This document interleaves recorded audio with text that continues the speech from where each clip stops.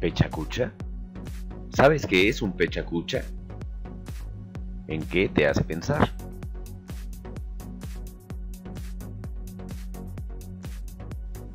En este segmento de Storytelling vamos a conocer una excelente técnica de presentaciones efectivas. Esta es una forma de narrativa que utiliza pocos recursos, es fácil de realizar y tiene un alto potencial de comunicación.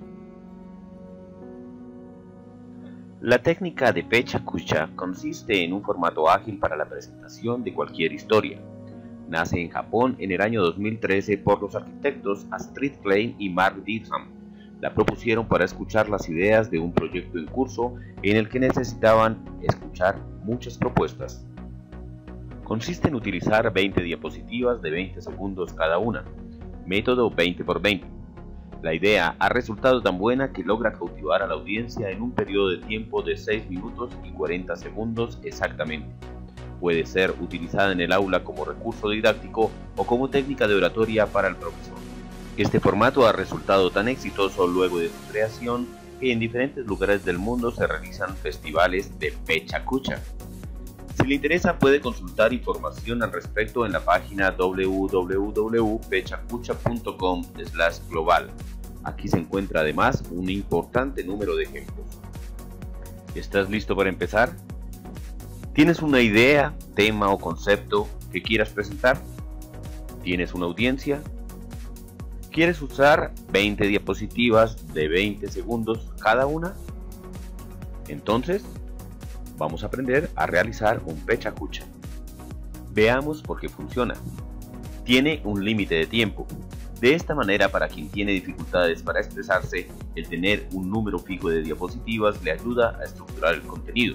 Para quien su temor no es hablar en público, brinda control sobre el tiempo y el exceso de comentarios que no están ligados a la temática.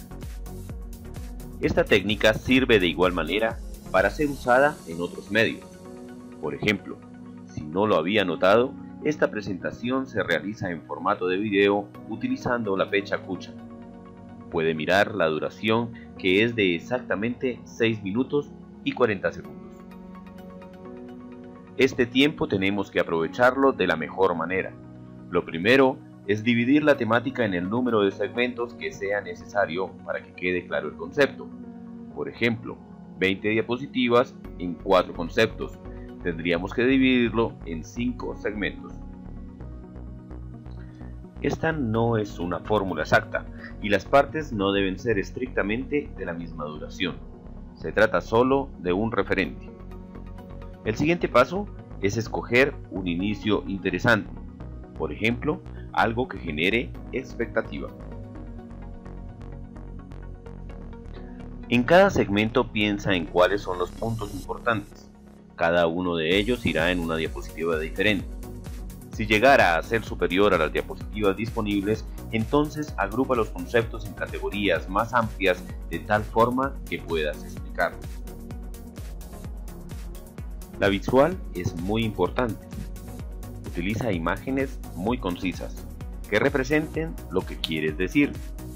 Trata de no saturar las diapositivas y utilizar el menor texto posible. Haz uso de los titulares solo cuando sea necesario.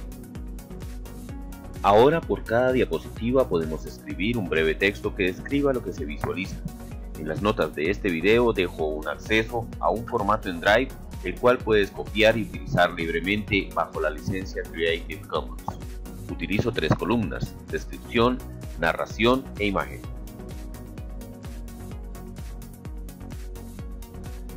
Recuerda que puedes hacer uso de imágenes de la web, siempre que tengan una licencia que lo permita.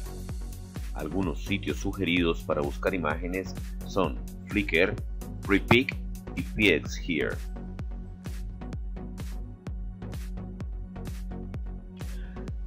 Ya que utilizaremos pocos textos, procura utilizar fuentes grandes y legibles.